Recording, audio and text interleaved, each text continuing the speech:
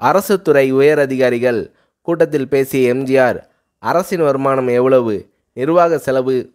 அரசு ஊழியர்கள் சம்பளம் போக மக்களுக்கு நலத்திட்டங்களுக்கு அரசின் வளர்ச்சி திட்டங்களுக்கு எவ்வளவு நிதி ஒதுக்கப்படுகிறது? என்ற விவரங்களை கேட்டறிந்த எம்ஜிஆர் அவர்கள் கல்வி சுகாதாரம் வேளாண்மை உள்ளிட்ட துறைகளுக்கு கூடுதல் நிதி ஒதுக்குமாறு வலியுறுத்தினார்.